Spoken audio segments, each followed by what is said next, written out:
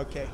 I'd like to thank you all very much for coming. Um, and I'm going to talk today about um, Theodore W. Allen and Hubert Harrison, who I believe are two of the most important thinkers and writers on race and class in the 20th century. They are autodidacts, self educated, working class intellectuals, right? Harrison never goes to college a day in his life. Allen goes one day and found it too confining. Right? That's how the story goes. So I'm going to start, and we'll just start with Allen. Here he is. He lives from 1919 to 2005. Now, he knew Leonard Zeskind and were friends with him. I think he knew Al. I don't know if he knew Bob. Um, uh, yeah, and um, I think it was Larry, the other fellow who was sitting here in the front row. So he, he's, some people here knew him. Uh, but here's his quick bio. He's a working class intellectual activist. He's a former coal miner. He was a president of three locals in West Virginia. He goes into the, he goes into the mines in 1936, 37, straight out of Huntington, West Virginia High School, SMSA with the lowest rank in the country at the time, I think. Um, he's a factory worker. He hurts his uh, back in the mines and uh, winds up coming up to New York. He teaches political economics at the Jefferson School for a number of years. Um, and then in the late 50s, kind of starts a move away from what he was doing, and by the mid 60s, he's very independent. Um, he factory worker teacher. He was a postal worker with me, as was Hubert. Ha- as was, well, Hubert Harrison was a century earlier, but he was also a postal worker, fired by Booker T. Washington. That's in the biography. And uh, in his la- last years, Harrison did the homework hotline for the youth at the Brooklyn Public Library. Theodore W. Allen pioneered white skin privilege, his white skin privilege analysis in 1965. Note the date. That's 21 years before Peggy McIntosh. Um, and if you go to uh, Wikipedia and look up white privilege, the first line will say, if it hasn't changed much, white privilege theory holds that all white people benefit from white privileges. That's not what Allen says at all. Allen is clear who, who benefits. It's the ruling class who benefits. For European American workers, those privileges, he consistently argues, are not in their interest. They're like a poison bait, like a shot of heroin. What is in their interest is their solidarity with their fellow workers, you know, uh, African American, Latino, Asian.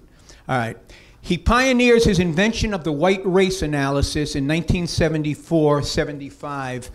And that analysis is in this little précis, this little short pamphlet, which is available free online, but we have some copies here at cost. Everything always at cost, right? Um, he writes his major work, his two volume, The Invention of the White Race, um, in 1994, volume one, and 1997. He's almost 80 years old when he's doing this, right? So I take hope, right? Um, and, and um, in 2012, uh, we came out with a new edition, which I edited. I wrote introductions for Verso books, and it has internal study guides, right? For everyone here. This is trying to pass it on, as people have been talking about. And his last unpublished work was Towards a Revolution in Labor History. Because those two volumes on the invention of the white race are 800 pages combined, 35% footnotes and appendices. This is what I call serious proletarian scholarship. This is serious working class scholarship. He's got great integrity. He knows the issues. He is not mean spirited. He raises them in their best light and then addresses them. There's so much in it, but he, he was thoughtful enough to offer us a summary of the argument in two parts which is available free online. All this you'll be able to get through my webpage, which is here. And my webpage, my name is, I, for the internet, my name is Jeffrey B. Perry. There's a Jeff Perry on Scandal. He was stealing a lot of my hits, so I, I make sure I use the Jeffrey B. Now, um, the uh, summary of the argument. So his shortened summary of the argument in two parts is 50 pages each part. But again, and what's nice is you can search, as you know, right, online. And this pamphlet, which he did in 75 and 76 and was reprinted recently. But I want to show you a few other things that he's written and call these to your attention. For the work you're doing now. He writes White Blind Spot in 1967, co authored with Noel Ignati- uh, Ignatin at the time, Ignatiev today. This pamphlet had great impact on the student movement, particularly SDS, and then on the New Left in the early 70s. And for those, again, not familiar with the history of white privilege analysis, in 1969, the New York Times ran a front page article on how SDS was calling for an all out national campaign against white skin privilege, right? So it is rich history there. In that pamphlet, in the, the, com- the more complete 1969 edition, Allen has this article Can white worker can white uh, workers crossed out? Because that wasn't so much the problem as radicals. Can white radicals be radicalized? You might find that of great interest. Again free on my webpage he writes a critical review. He writes a critical review of Edmund Morgan's American Slavery, American Freedom. Morgan's a very well known historian, uh, professor emeritus at Yale, does a, a, book that's very important on colonial history. It is the one that Michelle Alexander uses in her um, book, but I don't think she was familiar with Allen. That's unfortunate because I think she would really draw a lot from Allen. But Allen's, I'll get to get in. Allen had a two uh, two pronged critique of Morgan's review. I'm going to talk about one of them today. We can get into the other one also. Very important article in defense of affirmative action in employment. I think people would want to read that today. This one, Race and Ethnicity History in the 2000 Census, takes on added significance in light of what's going on, particularly with the Hispanic, Hispanic category on the census. And that's what Allen talks about in this. And he talks about how census making is political, like everything else in this society.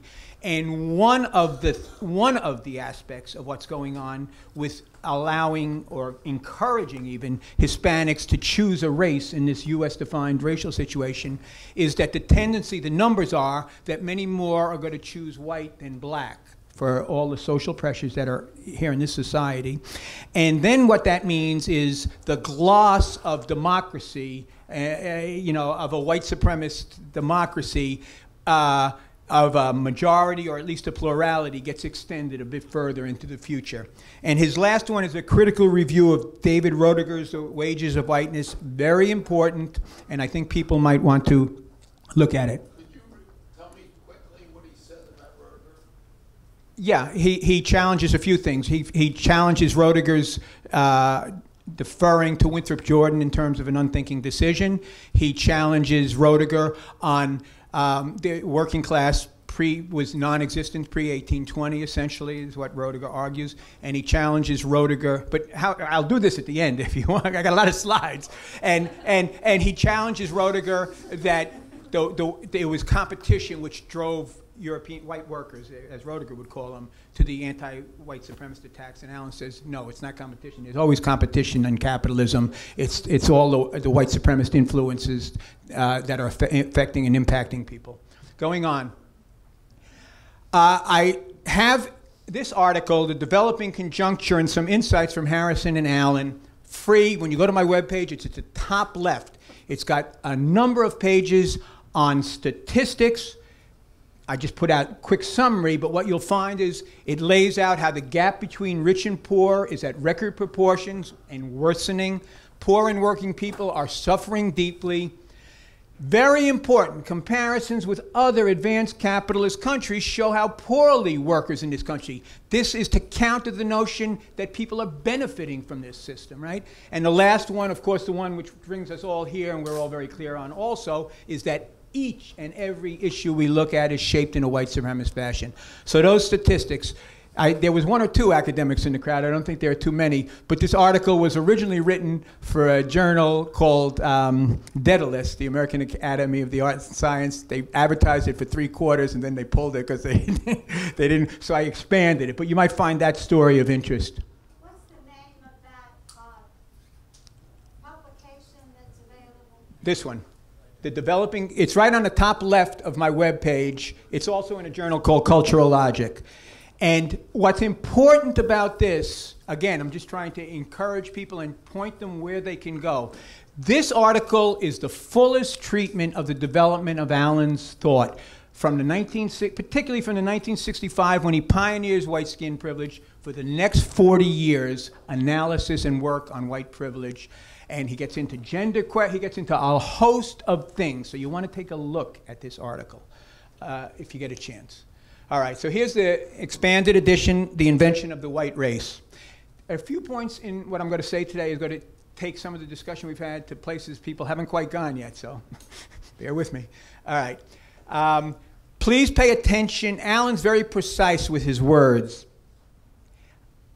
Volume 1, Racial Oppression and Social Control. And I'll just say one thing before there was some passing reference to the theory and national oppression.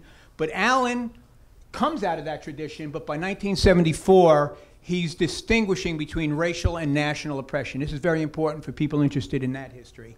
Social control, crucial to understanding what develops. And this last one, origin. He uses origin in the singular, the origin of racial oppression. And here's why. He says, in choosing the subtitle, I meant it to be consistent with the argument of the book. Class struggle was the origin of racial oppression. And he gets in and elaborates that. All right. Uh, this is a fellow, Carl Davidson. Some of the old timers might know, but he's been around and he knew Allen way back. But what he says here, and if you go to my webpage, on Harrison and Allen, I have all kinds of comments from activists and scholars on the importance of their work. People you've read, you know. But Davidson, what he says here, I think is, is on point. You have to work to get through these two volumes, but once you do, it will change your life and outlook forever. You simply can't understand America with, uh, and who we are without this book. So that's kind of high praise, I think. Davidson. Carl Davidson. A lot, a lot of people read Portside, right? Right. It comes up on the thing. Yeah, and on. Davidson helps. Besides, what goes into Portside. Right, and he does online University of the Left and a number of other things. He's very active still, and, but he was a big SDS activist and many other things over his life. Okay, here's what Allen writes on the back cover of Volume 1 of The Invention of the White Race. When the first Africans arrived in Virginia in 1619, there were no white people there, nor, according to the colonial records, would there be for another 60 years. The word white does not appear in a Virginia colonial record until 1691. But it's not simply that the word white doesn't appear, the white race as we know it was not functioning. And he bases this on going through 885 county years of Virginia colonial records. He was camped out in Richmond going through all these primary sources. And I, I now have his papers, which we're looking to place at a major repository, but he's got over a thousand pages of transcribed notes from this early period. No one else has done this. And what he's always doing is he's looking at wherever in the records laboring people had a voice the African American woman, the uh, Dutch man, you know, the English, Irish, whatever. Um, so it's a major resource. Uh, Allen goes on to elaborate on that. Others living in the colony at the time were English. They had been English when they left England, and naturally, they and their Virginia born children were English. They were not white. White identity had to be carefully taught over the next 60 years. Didn't come naturally, right? Had to be taught. We'll get into that. Here's a case that might interest you John Punch, 1640. Still no white people. John Punch is what's called, and I'll explain this a little more in a second, a chattel bond servant. And He escapes with two other chattel bond servants. They were limited term, they served a few years. And he escapes with Victor, a Dutchman, and a Scotchman called James Gregory, still not white, right? And John Punch, who's of African descent, gets the harshest punishment because the, the plantation owners, whenever they thought they had someone who might be vulnerable, would try and impose harsher penalties, whether it be a woman, a youth, right ever, right? And in this case, they tried to sentence John Punch to lifetime servitude. Now, this is uh, what's of particular interest to this is that's the only record in all the colonial records on John Punch. But John Punch, Ancestry.com, did a big piece about four years ago on John Punch because John Punch is related, it turns out, to our president, Barack Obama. But, but, it's not on his African father's side, but on his mother's side, right? All right. Bacon's Rebellion, 1676, 1677. This is a big event. I'm going to get into this in more depth. But in Bacon's Rebellion, when that, in that insurrection, the poor and working people, European and African American, fighting together, demanding their freedom from bondage. They kick out the governor. They burn Jamestown.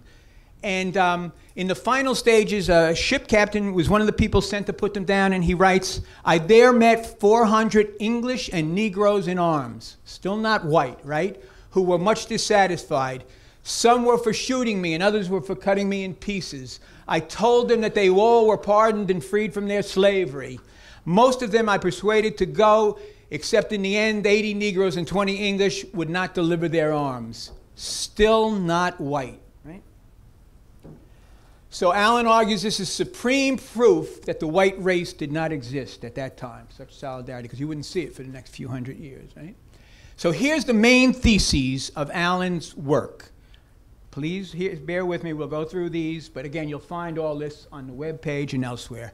The white race was invented as a ruling class social control formation in response to labor solidarity as manifested in the latter Civil War stages of Bacon's Rebellion. It's the Civil War stage, the second stage of Bacon's Rebellion, when people start coming together, right? The way it was done, a system of racial privileges was deliberately instituted by the late 17th, early 18th century Anglo American bourgeoisie in order to define and establish the white race and to establish a system of racial oppression. And Allen goes on to argue the consequence was not only ruinous for African Americans, it was, um, but was also disastrous for European American workers. Right? And their position, he elaborates, their position in relation to the rich and powerful was not improved, but it was weakened by the white skin privilege system. So Allen is arguing the invention of the white race was political. He's arguing the white race must be understood not simply as a social construct, but as a ruling class social control formation. I want to elaborate on that. In 1997, a professor in it might have been in Atlantic. I can't. Remember, it might have been in Atlantic. Uh, Fredrickson, who writes on South Africa and elsewhere, writes the the idea that race is a social construct is now an academic cliche. Everyone knows race is a social construct, and what Allen says is no, that's not enough to say that. Because if you say race is a social construct and leave it there, you leave the back door open for the Dinesh D'Souza's and the Daniel Patrick Moynihans who will argue, well, yeah, but that, that explains blacks' inferior status because of family life or, or cultural background, right? Allen says, no, no, no, you don't want to leave that escape hatch for these people. You have to understand and put it right where it belongs. It's a ruling, it serves ruling class interests. Now, I come out of the labor movement, 33 years in the labor movement, postal worker, lots of things. And we did wage, always we tried to wage struggle against the bosses, and putting the struggle against white supremacy is key, as central, and we have many rich experiences, but maybe some other time we can talk about that. But one of the worst things in the labor movement you can run into is a class collaborationist, a co worker who sides with the bosses, right? There was some talk about how they get dealt with in different situations.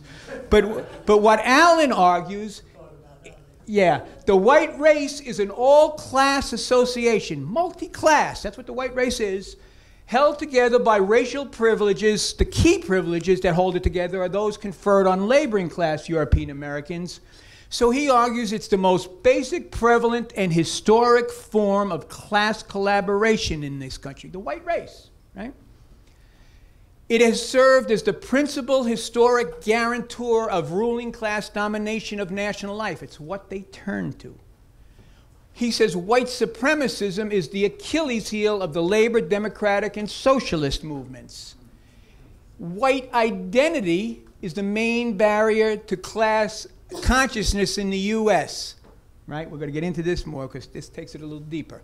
Okay, now we're going to do a segue from Hubert Harrison, and then we're getting into Allen Deep. But Harrison helps explain Allen. And yesterday, as I said, I was so stimulated by what I heard and some of the people I spoke with, but I realized many people here were not familiar with Hubert Harrison, and it's unfortunate because he is a giant of our history, right? So Hubert Harrison lives from 18, and I'm only doing a few slides, but on the webpage you can find hours worth, you know, and videos. But he's a brilliant intellectual, a race and class conscious radical internationalist.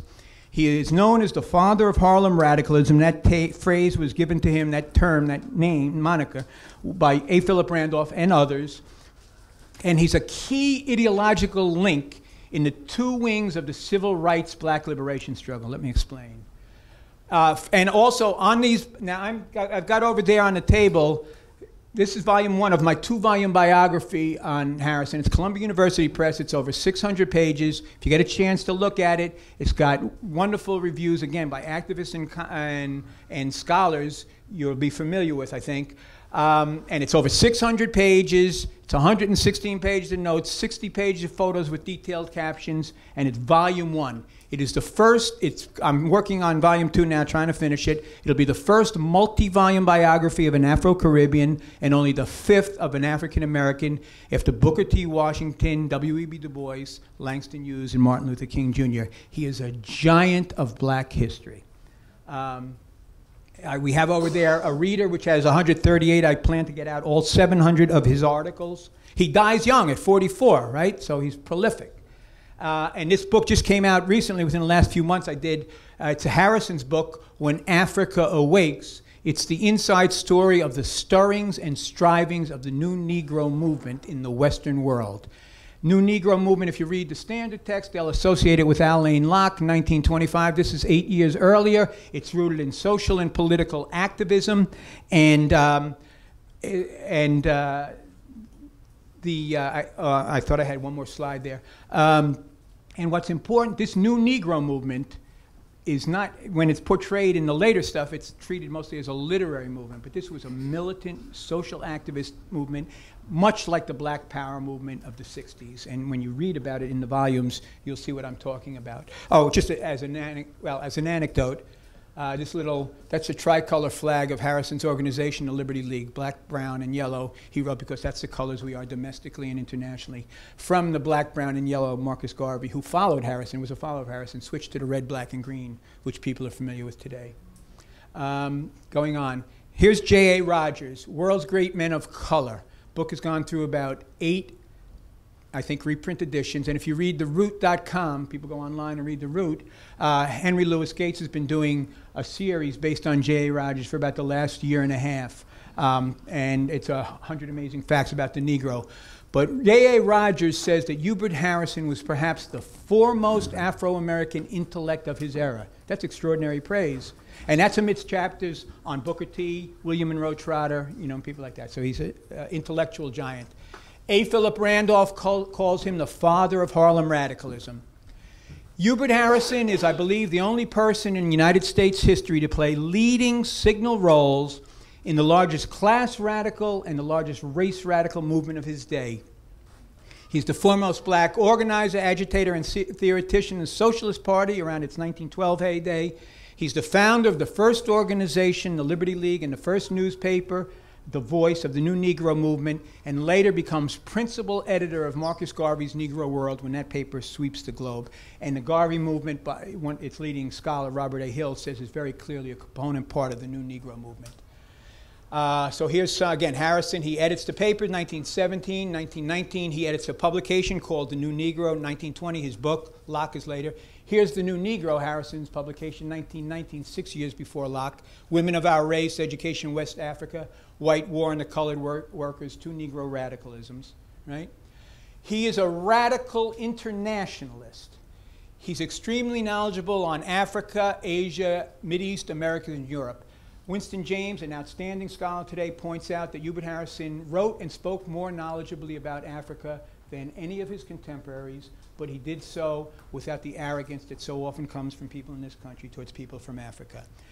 Um, he writes on the Mideast and, and many developments there in terms of Islam. He spoke, or, although he's self educated, he spoke or read to some degree six languages, including Arabic. In his last years, he was teaching himself Arabic and reading the Quran, not because he was religious, he was a free thinker, but because it was a religion of so many people of African descent. I have scholars from India writing me saying that what Harrison writes on India in the period around World War I is the best they see coming out of this country. 1926, when he's still alive, he never went to college a day in his life, but he delivers series of lectures at NYU and at Columbia on the Canton Uprising, right? So um, he profoundly influenced a generation of new Negroes. In my books, I argue, and no one has seriously challenged, amongst his generation, he's the most class conscious of the race radicals and the most race conscious of the class radicals. And he emphasized, he, the common people, he lives, and uh, someone spoke yesterday, and I, I really appreciated her point. Harrison lives at 231 West 134th Street. It's the most densely populated block in Harlem. He is of the people. He's not on high, right? Um, A. Philip Randolph. Harrison was, by, by various accounts, including Randolph, the major radical influence on A. Philip Randolph. He was the major radical influence on Marcus Garvey. Marcus Garvey joins Harrison's organization. Anyone familiar with Marcus Garvey knows he doesn't join anyone else's organization, right? All right.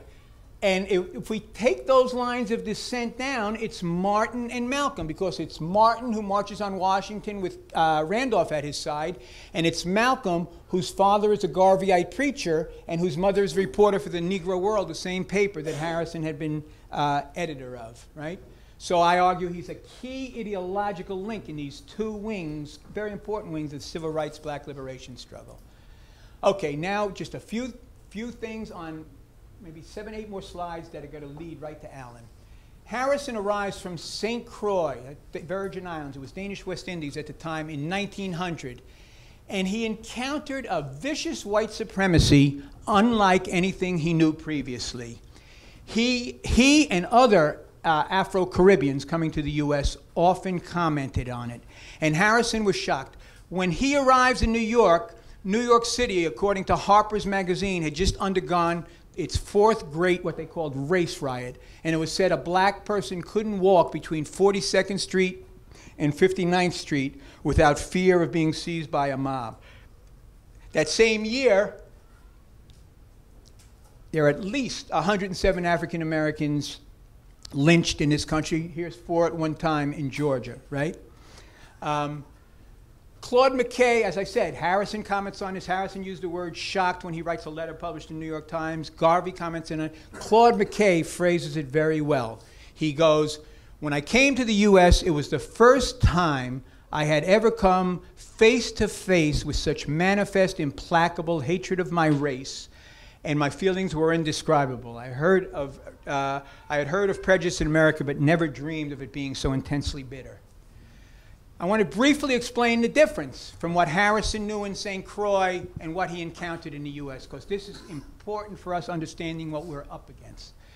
In, in St. Croix, during Harrison's youth and going back during slavery, but in Harrison's youth, there's no history of lynch terror. There's no formal segregation class promotion amongst a sector of the African population was fostered. Harrison was born on a plantation owned by two men of color. You wouldn't find that down south for the most part. And white supremacy was not as virulent or as vicious as in the US.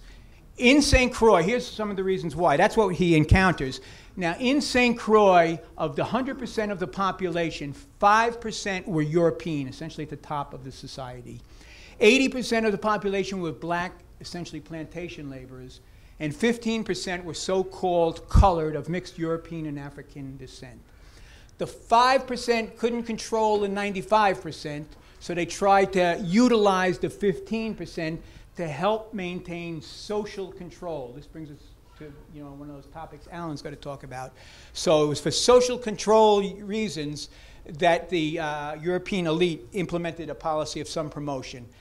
And so here's what, the, here's what went on in St. Croix. There was a policy of promotion and landholding. As I mentioned, Harrison's born on a plantation owned by people of color.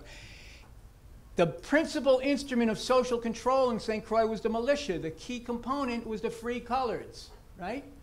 And here's this last one. In 1834, free coloreds were extended an edict of full equality, a law that said at least nominally Europeans and free coloreds were equal in various things. Compare it to the U.S. The general policy was one of severe racial proscription.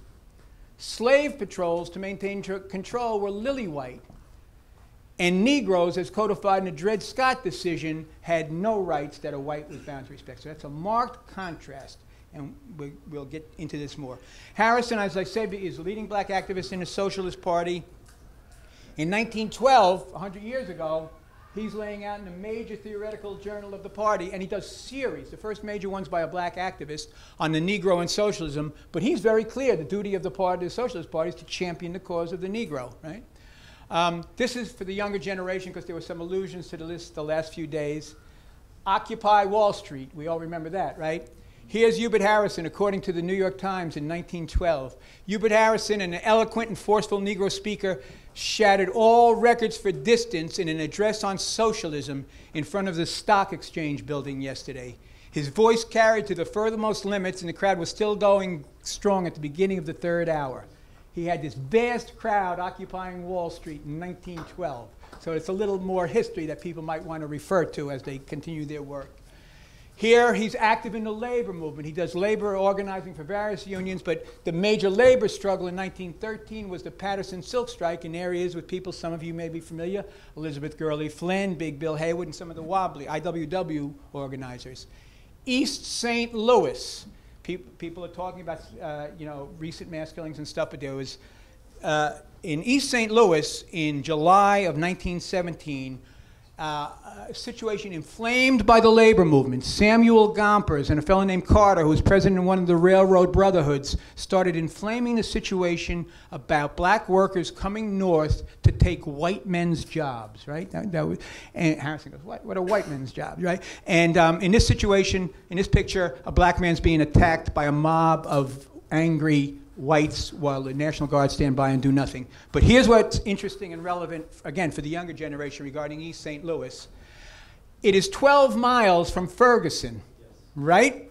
And Harrison calls a meeting calls a meeting to protest because in East St. Louis the estimates of the uh, number of African Americans killed is 39 to 250. Harrison calls a meeting in Harlem on 132nd Street thousand people turn out to protest, just as after Ferguson in New York, we had mass demonstrations. But there's history, again, to so much of this stuff that we do well to learn from. And he gets pretty militant because the Times is quoting him about an eye, oh, we'll take an eye for an eye and a tooth for a tooth, and he's talking arm, militant armed struggle. Now, ordinarily when I say the next thing, I pull out of my pocket a black stone I have. It's called a touchstone. But if you don't remember anything else from today's presentation, Try to remember this one the touchstone. A touchstone is a black stone. You, if you have a metal that you think is gold, you rub it against a touchstone to see if it's really the gold it's purported to be. So Harrison writes in 1911 in the Socialist Party press politically, the Negro is the touchstone of the modern democratic idea. Presence of the Negro puts our democracy to the test and reveals the falsity of it. It is an extraordinary metaphor. Any issue we look at in society, housing, employment, incarceration rates, health care, pick an issue, let's put it to the test. How are black people faring? What are we going to do about it? It's a guide for political action, which is one of the things that we here today are all coming together around. Remember that touchstone. He goes on in the same passage to say that true democracy and equality implies a revolution startling to even think of. And I have no doubt that that, sen- that sentiment foreshadows the 1960s when the civil rights black liberation struggle is a catalyst for all these other movements for social change the anti war movement, student movement, women's movement, gay and lesbian rights, labor movement. They all take sustenance from the civil rights black liberation for two main reasons, I think. Other reasons too, but two main ones. The cause was just, and it hit so directly at how the ruling class maintains social control. Okay, here's where we take Harrison. Here's where we foreshadow Harrison. I mean, Allen again, but we see this in Du Bois also. Harrison in 1912, again in the leading socialist journals, argues that the 10 million Negroes of America form a group that is more essentially proletarian, working class, right? Uh, and under slavery, they were the most ex- thoroughly exploited of the American proletariat. So he views enslaved black labor as proletarian. W.E. Du Bois, 1935, writes a book which reshapes a lot of people's interpretation of U.S. history. And he makes a similar point. He goes, Yet the white labor movement, with few exceptions, never realized the situation. It never had the intelligence or knowledge to see in black slavery and Reconstruction the kernel and meaning of the labor movement. Allen argues understanding enslaved black labor as proletarian does several things. It provides us some of the most heroic examples in labor history of struggles. It helps to tear the covers off white labor's betrayal of black labor. Well, yeah, they're, they're somehow different, right? They're, they're, you know, they're not workers like we are and all that. And very important, Allen argues, it helps to understand the invention of the white race as a ruling class social control formation. So Harrison winds up leaving the Socialist excuse me, Party, um, and he's going to found the New Negro Movement. When he leaves the Socialist Party, he offers what I say is arguably the most profound but least heeded criticism in the history of the left in this country.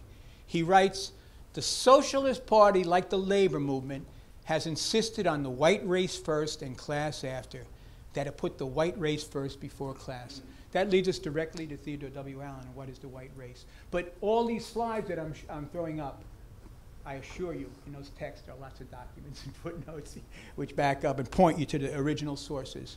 So here we go to Allen now.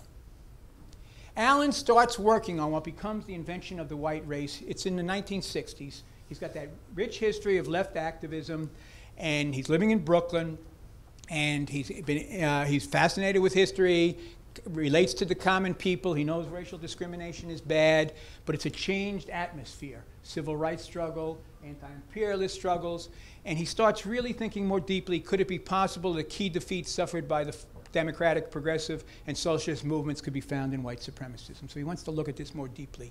And he's influenced by Du Bois, right?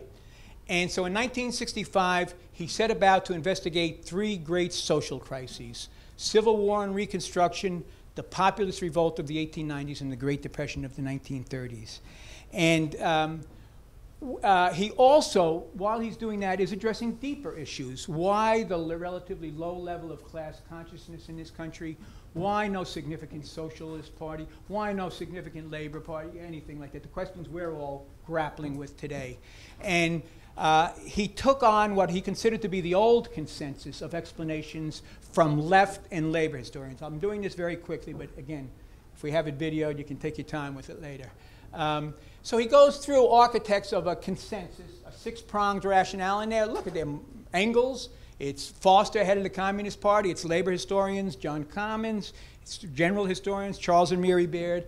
The six prongs that they try and articulate as the reason to explain all this uh, early right to vote, the heterogeneity of the working class, freelance safe. He goes through all six, and he argues basically that each one is more myth than reality. The free land wasn't going to laboring people, the railroads are getting it. Heterogeneity may have actually helped, you know, the class consciousness. You know, you had people coming, and he goes through all, and he goes, whatever their effects on European American workers, the uh, same can't be said their effect on black workers. And he countered with his own theory that white supremacy was the main retardant of class consciousness and he understood white privilege, that racial, radical social change should challenge white supremacy and white skin privilege. He understood white privileges as a poison bait. And for someone today who asked the question, what about some slogans? He offers a few. They're the old tried and true from the labor movement. One of them, an injury to one is an injury to all, but this is a little addition he added on this one. Solidarity forever means privileges never. All right. Privileges are a poison bait, like a shot of heroin. All right. Two essential points he makes about race privilege policy. It is deliberate bourgeois policy. This doesn't spring up from below and just happen. It's coming. They're driving. They're the driving force. And contrary to surface appearance, it's not in the interest short range or long term. And Allen, with his background, explains workers' interest in a phrase some of you might be familiar with, but the national struggles point out and bring to fore the common interest of the working classes of all nationalities and in the various stages of development, uh, always and everywhere represent the interest of the movement as a whole. Be class conscious, truly class conscious, the entire class.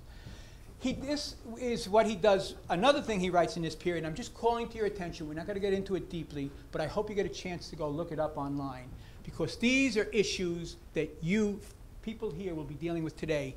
He writes on, and when Allen raises issues, he's got great intellectual integrity, so he raises issues and tries to address them fair, you know, fairly, you know, not take cheap shots. And he's addressing the question, oh, sorry, excuse me. Um, the five artful dodges of white radicals on the issue of the centrality of the fight against white supremacy, why it can't be primary. And here's what he characterizes those five arguments back then as the five, five key articles. Level up, don't level down. Can't take anything away from the white worker, you know. And of course, that's not to, if you're not going to challenge the privileges, the privileges aren't going to end, right? Uh, the new working class, those who have skills and stuff, aren't in direct competition with the, the uh, regular workers, so it's going to be different. And so we don't have to spend so much time on that. The immediate interests of the white workers are in conflict with, uh, with those of the Negro, but the long-term interests are the same. Therefore, we need parallel struggles, right? Um, for eventually, when the depression comes, oh, then we'll come together, you know, blah blah blah. And number five, number five, which was also current then and is current today in some circles, don't waste time on the U.S. workers. They're bought off, you know, and uh, support national liberation, things like that. So he goes through, and then he addresses them. So I encourage people to go look and see what he writes. Okay. Now, on the three previous crises, the first time I saw Allen speak was in 1969, I'm the same age as some of the people here.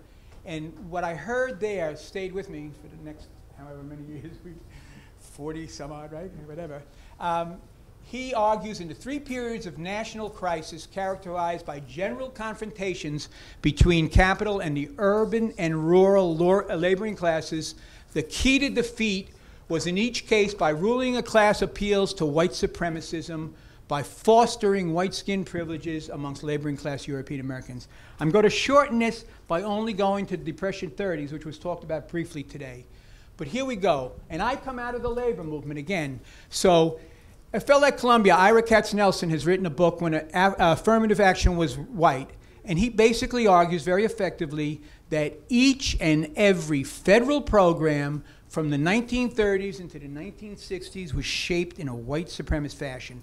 And why, as was alluded to today, FDR, Franklin Delano Roosevelt, the president, his base of support had three main prongs. It had the trade unions, it had the corrupt urban political machines, and it had those Dixiecrats down south, which people were talking about today, who shaped so much of the policy. So we take a look at labor legislation. And labor, again, labor legislation Social Security until 1951, the National Labor Relations Act, uh, and the Fair Labor Standards Act all excluded domestic and agricultural workers. That's 70% of your black and Latin workforce, right? By design, that's how they're set up. Uh, emergency relief, it was federal money, but it was controlled locally. Extraordinary disparities, particularly down south. Um, Last two are very important, I think. One, the GI Bill. GI Bill, you can get a house with zero down payment and low interest loan. The statistics for the New York, North Jersey area where I live are 67,000 GI loans awarded, less than 100 go to families of color. That's how you get the ring of lily white suburbs around New York and every other city in this country. Ruling class design. Another one of major importance, and we in the labor movement, I think, should be paying far more attention to, and maybe as things develop, that'll happen, right? Is the black to white unemployment ratio. Everybody's familiar with the black to white unemployment ratio, two to one, some close variant of it. But it wasn't always that way. In 1929, at the start of the Great Depression, the black to white unemployment ratio was one to one, which makes sense if you think about it, because black people were brought here to labor, right? But by 1947, after all the programs of the New Deal and the post-war redeployment, the ratio was two to one, and that's all virtually anyone in this room has ever known. Right? So Allen argues, again in this period, the most vulnerable point, because one of the questions this group wants to address is strategy. And he argues the key for strategy is understanding that the most vulnerable point at which a decisive blow can be struck in this country is against, against bourgeois rule is white supremacy. It is what they rely on and what we, what we got to beat them on and what we can beat them on. The most vulnerable point. Um, here's something very interesting, and you might find because this talks about it refers a little bit to the current climate. People have been asking that question. He, he says, well, if we, if we step back and take a look, in general, labor struggle the, the, in the U.S. could be interpreted as a five-stage cycle. Normal course of capitalist events, deterioration of conditions for the workers. At a certain point, the substance of the white workers' privileges begins to get eroded. Then the white workers manifest a tendency come, let's come together, brothers and sisters, we got something in common. What has then happened traditionally is the ruling class moves to resubstantiate the white race privileges, and unfortunately, historically, in the past, the white workers have taken that poison bait, right? Now, what Allen argues is we struggle against white supremacy in all those stages, but very key is between three and five when we're coming together and we can build off that, right? All right. Um, and he emphasizes in that period, keep in mind, and this is what we're here about, the importance, and I hate to use this word, hegemony. Allen used it. It's not me. It's not me. But he says the need to maintain anti-white supremacist proletarian hegemony in mass struggles, and that's what this group represents. Working class leadership is what we're trying to encourage and build, right? Okay. Yeah. Thank you.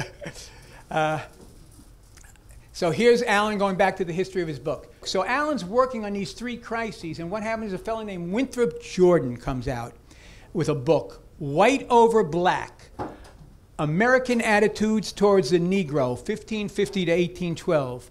You can see by the title that Jordan equates white with American, right? And uh, this book is the ideological response from the universities to the civil rights black liberation struggle. And the core of what Jordan argues is that white supremacy is just naturally the way white people are. Racism is innate, right?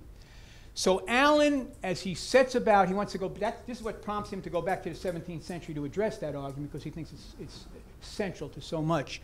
But the two arguments that Allen's going to take on in his work, two key articles, are one, the idea that racism is innate, and the second, the idea that white workers benefit, right? So the first one is associated with Jordan. The second one is Morgan, who I mentioned earlier, Edmund Morgan, who writes about 17th century, 18th century Virginia. And this is the one, again, Michelle Alexander uses. But Morgan makes the argument that there were too few free, poor European uh, Americans on hand to matter in the 18th century. That's not true. It's, it's factually not true. And, um, you know, it's as if they're all getting promoted up out of the class. That is the case in St. Croix, Jamaica, Barbados, the Anglo Caribbean, for reasons which Allen goes into, but that's not the class here. So now we're going to go into volume one, and we'll do volume two, and we'll wrap it up real quick. okay. This is food for thought. Allen writes in his acknowledgments to volume one First, I acknowledge my obligation to two fellow proletarian intellectuals, Charles Johnson, African American, and William Carlotti, Italian American, who cleared away my ideological barnacles and taught me to say, I am not white. Food for thought. Okay, Allen sees, and he writes about this, nothing positive in the white race. He says it's a ruling class social control formation. He, the question is, what are you going to do with these white workers? He tries to talk to them as workers, emphasize their work worker, not their white, right? And he, he explained the white race is now and always has been nothing other than a bourgeois social control formation. He considered the special obligation of the European worker to act by resigning from the white race, joining the human race, if you will, a born again proletarian, free of the incubus, the devil of white identity. He added that resigning does not entail entering some other racial or nationality group. You remain a European American, right? But again, food for thought. Purpose of volume one is to free the conceptual groundwork of the white blind spot of just thinking of race in terms of phenotype and innate and all that stuff. So what he does, he opens up by reviewing a lot of the history on the relationship of slavery and racism, uh, of all the historians, he breaks them into two groups psychocultural, Winthrop Jordan, etc., socioeconomic, the, Oscar and Mary Handlin, Edmund Morgan, Eric Williams, Timothy Breen. He clearly sides with those on uh, socioeconomic, but he has some differences with them on various points, which are well worth reading for those interested in this.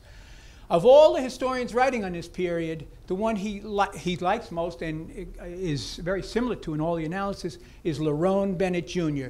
People not familiar with Bennett, he's senior editor of Ebony magazine for many years. Before the Mayflower is a book people may have read. His book, Shaping of Black America, really deals with this, and he makes the same three arguments essentially that Allen does. Um, then Allen looks at some of the howling absurdities of race. He talks about how in colonial Latin America there was a, a, tradition in some, in some places for purchasing a royal certificate of whiteness. In Brazil, it says money whitens, no such whitening in the U.S. Here's another example 1890. Portuguese siblings, they come. Uh, one comes to British Guiana, right? Uh, current Guyana, and another goes to, comes to the U.S. And the one going to uh, British Guiana would learn that he or she was not white whereas the one coming to the U.S. would learn that they are white. Cuba, this is a nice one, 1907, same year. Spanish are out. They still got their last census that they're completing. The U.S. has moved in. In Cuba, Mexican Indians and Chinese were classified as white by the Spanish. U.S. comes and says, that's not the way we do things, right? And they're classified as colored. That's back then, right? Um, Virginia laws, and people may be familiar with this, all the torturous definitions of what constitute a Negro, one fourth, one sixteenth, one drop, and so on. Um, in the face of such absurdities, Allen says, let's take a closer look at the nature of the oppression. Let's analyze racial oppression as we would analyze gender oppression, class oppression, national oppression. Let's look at the characteristics of it. Um, and um, so he, he does that and he, he, he thinks it provides firmer footing and he wants to get away from the phenotype, the skin color based understanding of racial oppression. So he describes some characteristics of racial oppression, reduction of all members to an undifferentiated social status, some other defining characteristics, declassing legislation. All this is again online, deprivation of civil rights, uh, illegalization of literacy, and displacement of family rights. Current day we still have many aspects of this today, just updated. Right, right. Um, and the first of subject, but he's also not only going to look at um, the nature of the oppression, but how they're able to maintain it, how they're able to set it up. And that's the social control aspect, racial oppression and social control. Um, so what he does is very interesting. He looks in the Irish mirror, and he looks at the history of Ireland and many people here might not be familiar with it. I was not so familiar with the history of Ireland, but it's fascinating in the way the British treated the Irish, right?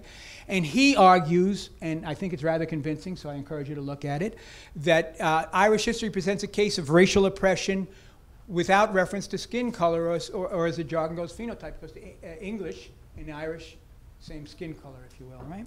Um, so Allen maintains that a comparative study of Anglo-Norman, which goes way back, but Protestant ascendancy in Ireland and white supremacy in continental uh, Anglo-America demonstrates that racial oppression is not dependent on differences in skin color. You can have racial oppression without it, right? Um, he says the essential elements existed in both places. He goes through that.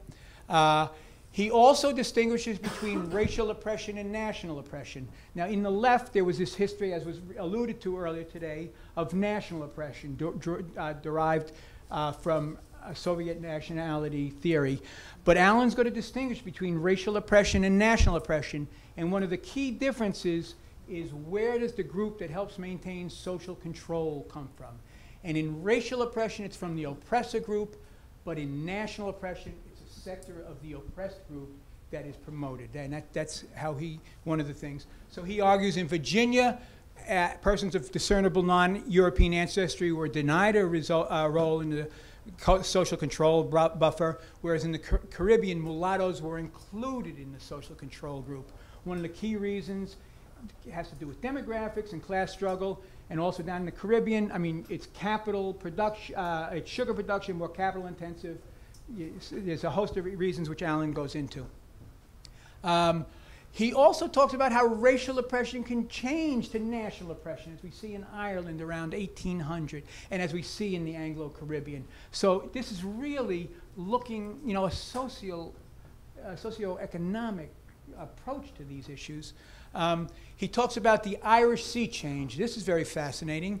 He talks about how the Irish, who hate the British with a passion for, because of the oppression they faced, uh, come to the U.S. and in a matter of generations, uh, they, you know, in, in Ireland, they're opponents of slavery and supporters of abolition.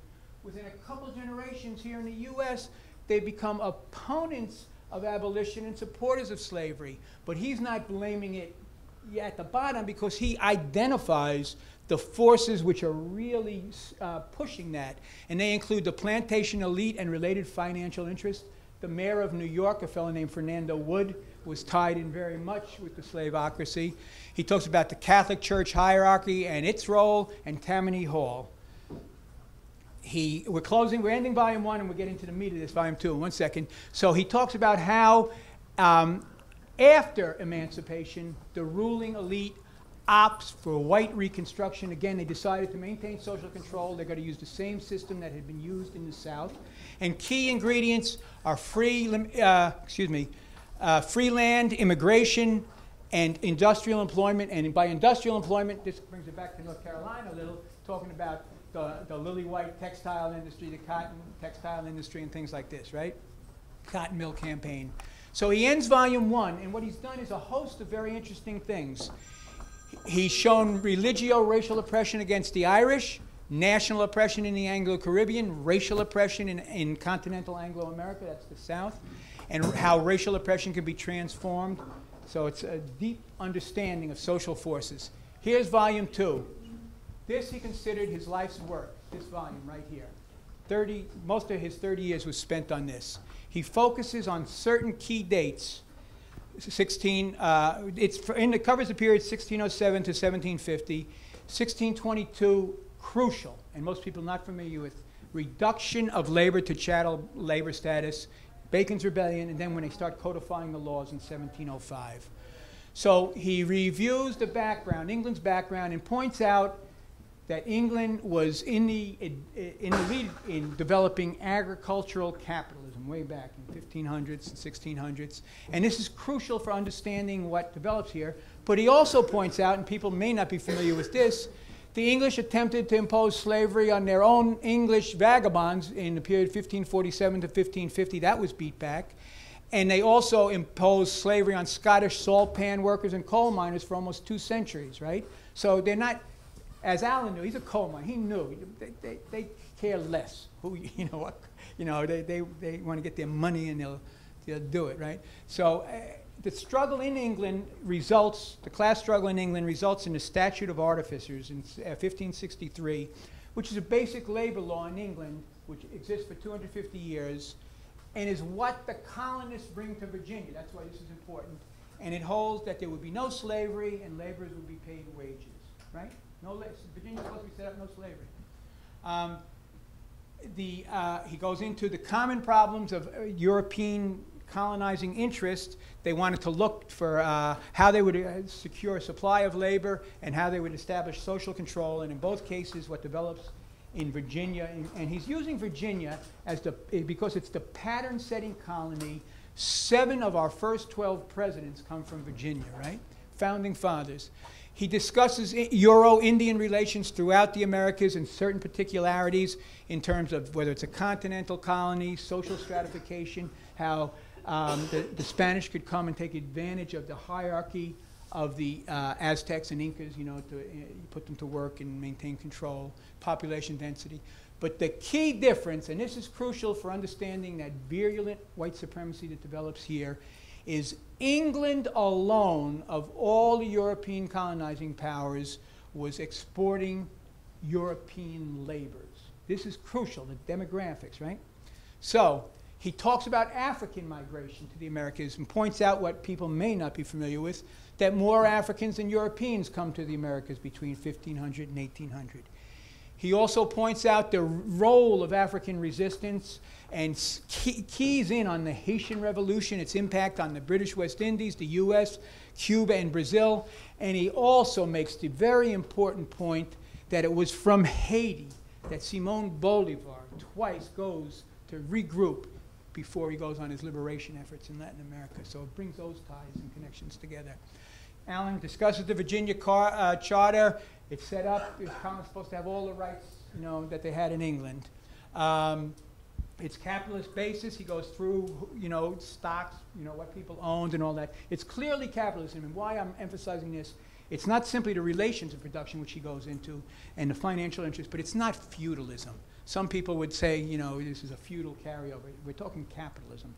Um, plantations were capitalist enterprises, production monopolized by one class. They start developing the plantations in between 1610 and 16, after 1614, 1616.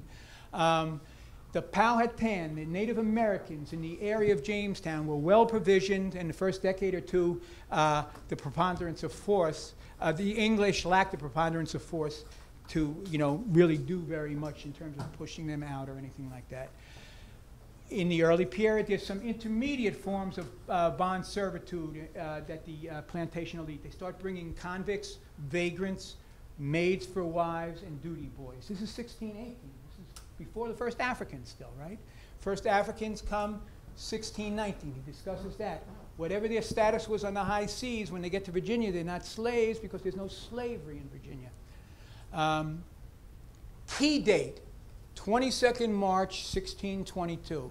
They don't teach this one.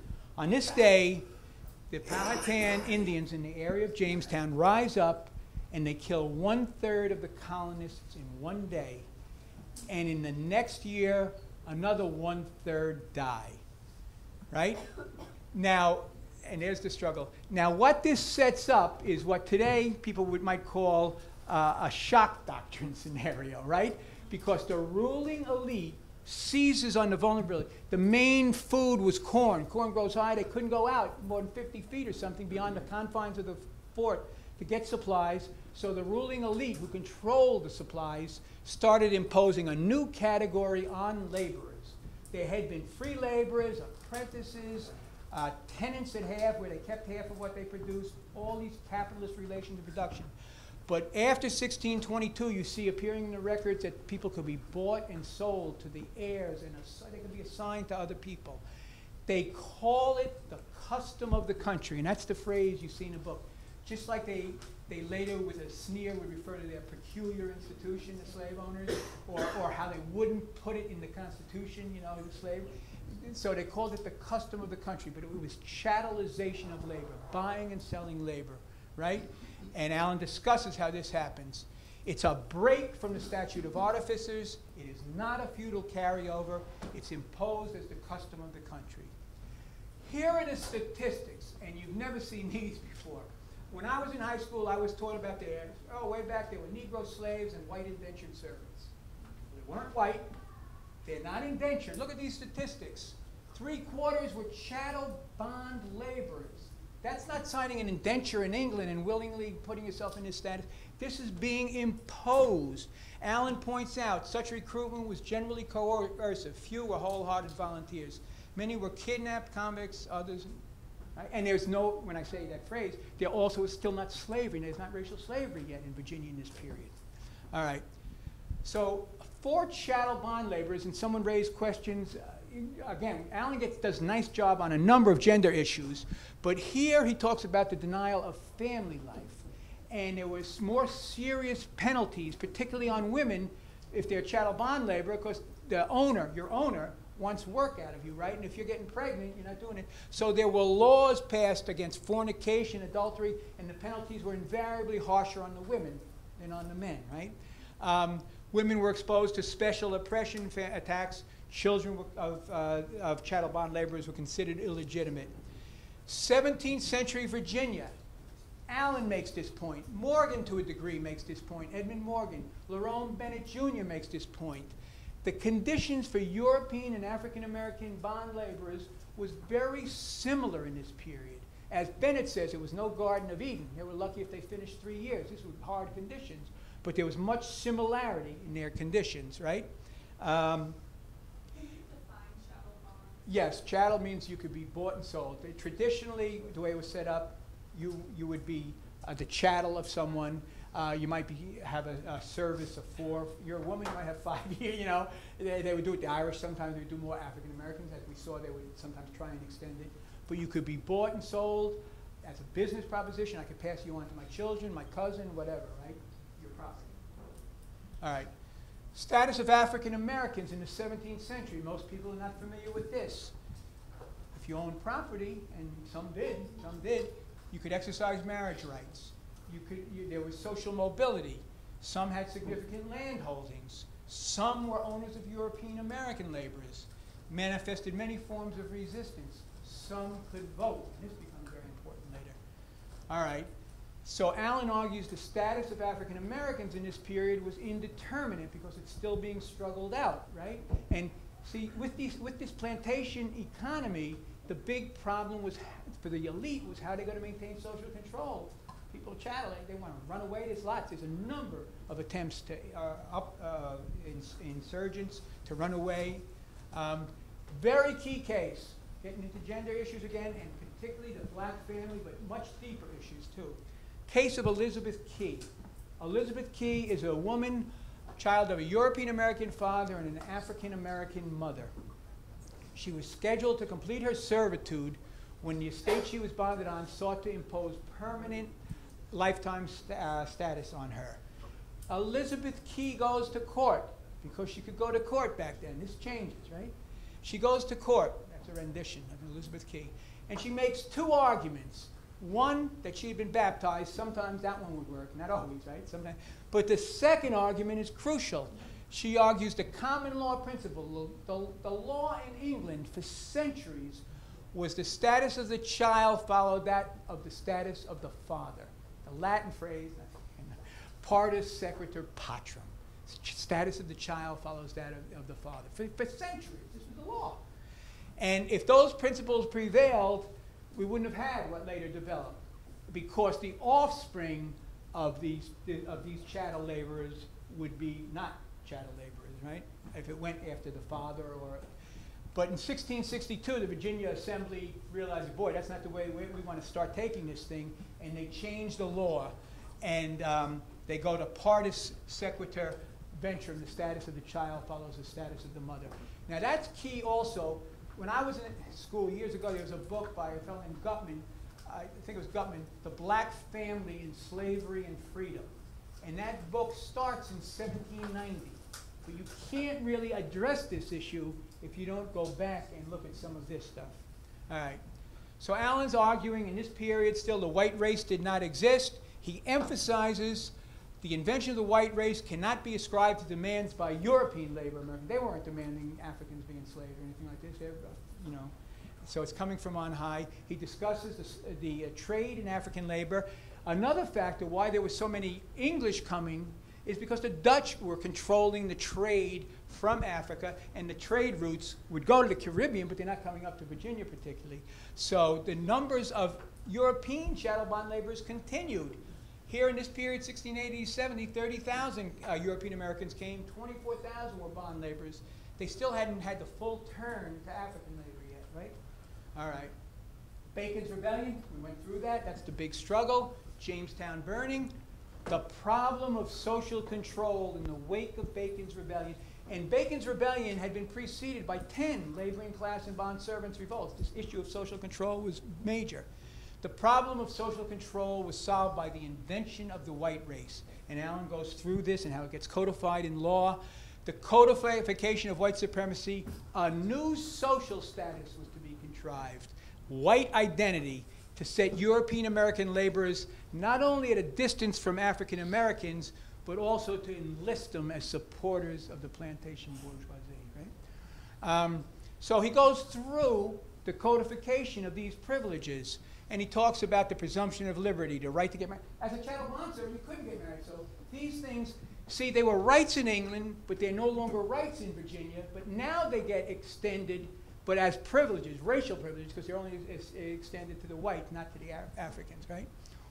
There's also laws against free Africans, and they start imposing these. And this, you know, barring from witness, can't serve in the militia, can't resist, uh, forbidding uh, to be owners of bond laborers, etc. And he lists all of these.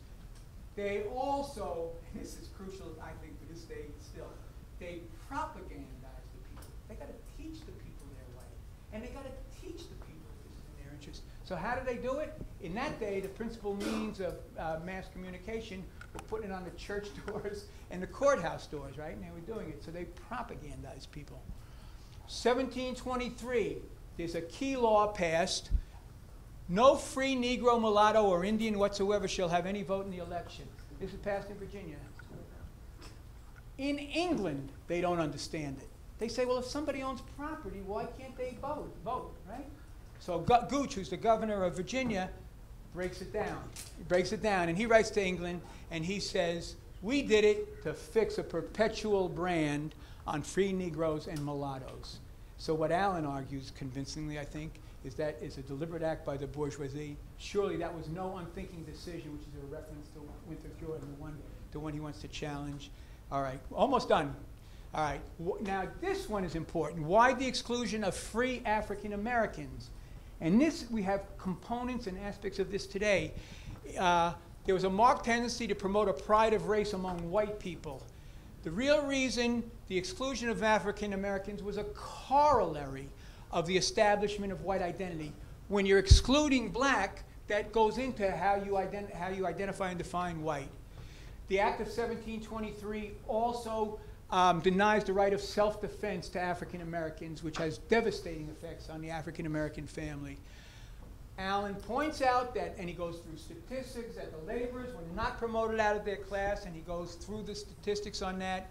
He argues, as he ends volume two, that white race social control formation that's established in Virginia gets spread throughout the South and then ultimately goes nationwide. His last book, in, Towards a Revolution in Labor History, is 2004, and he goes into, he wants to probe more deeply um, labor history, he- the question of white identity. He argues slavery was capitalism, all of the things which we've discussed before, but he challenges the great, what he calls the great white assumption, the unquestioning, indeed unthinking acceptance of the white identity of European Americans as a natural attribute rather than a social construct. He emphasizes white race as ruling class social control formation. Um, he recommends taking up four struggles for the generations here today. In the future, this is in his last year, 2004, before he dies. Work to show that white supremacism is not inherited, demonstrate that white supremacism does not serve the interest of the European American laborers, account for the prevalence. How do you explain? Let's address that. And by the light of history, consider ways whereby European American laboring people may cast off the stifling incubus of white identity. And key to what Allen does in that last unfinished work is he starts U.S. labor history from the premise that black labor was proletarian, and he says from that else, all else follows and changes, right? Um, so as we close, I encourage you to remember the insights of Hubert Harrison.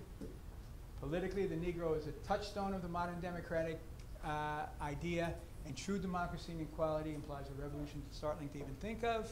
Remember from Allen, right race created and maintained as a ruling class social control formation, principal historic guarantor of ruling class uh, domination of national life, uh, white supremacy reinforced by white privilege, the main retardant of class conscious efforts at radical social change have to take on that white supremacy.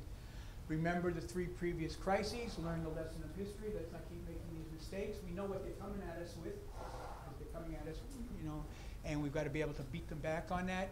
Remember the most vulnerable point, it's what they rely on, but it's what we can beat them on. Um, remember the five-stage cycle. Remember the importance of an- anti-white supremacist struggle in all stages, particularly from three through five. And remember the need for you all, the proletarian generation of the future, to seize the leadership in these struggles to guarantee that we beat them back. Thank you very much.